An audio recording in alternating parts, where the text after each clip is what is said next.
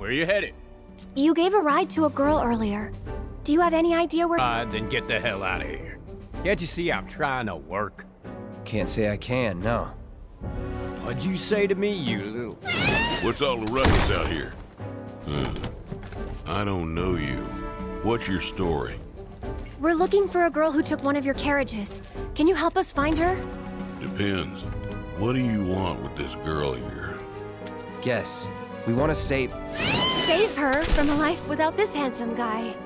Huh? So, that's how it is, huh? Well, I get a lot of customers. Hard to keep track of them all. This girl, what's she look like? Well...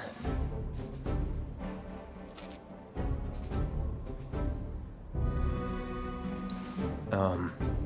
She's a great fighter. I'm not sure that helps. Wait a minute. You talking about Tifa? That's her.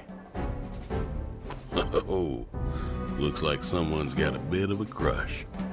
Hate to break your heart, kid, but it's gonna be a long while before she sees the light of day again. What do you mean? She's a real pretty girl. Corneo's hosting another audition, and Tifa was chosen as a candidate An audition for what? for the title of the next Mrs. Corneo. She's what he likes all rolled into one sweet package. Having scouted girls for so long, I know his taste better than my own. And considering those tastes, I can guarantee you this. She won't be walking out of that mansion anytime soon. If at all. So where can we find this Don Corneo?